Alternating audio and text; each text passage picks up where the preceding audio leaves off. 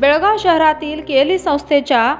जे N M C जलतरण तलावात सुरू झालेल्या राज्यस्तरीय सब ज्युनियर आणि चॅम्पियन स्पर्धेच्या पहिल्या दिवशी बेंगळूरच्या बसवनगुडी ॲथलेटिक सेंटरच्या जलतरणपटूंनी बाजी मारली आहे. के एल ईच्या डीम्ड युनिव्हर्सिटीने बेळगावमध्ये प्रथमच आयोजित केलेल्या राज्यस्तरीय सब ज्युनियर आणि चॅम्पियनशिपमध्ये बेंगळूरच्या जलतरणपटूंनी वर्चस्व राखले. सात वर्ष वयोगटातील मुलामुलींच्या पंधराशे मीटर स्पर्धेत मुलींच्या गटातील शिरीनने प्रथम रितिका बियमने द्वितीय आणि आदितीने तृतीय क्रमांक पटकाविला आहे Rajshekhar Hiremath KNN city news Belgaum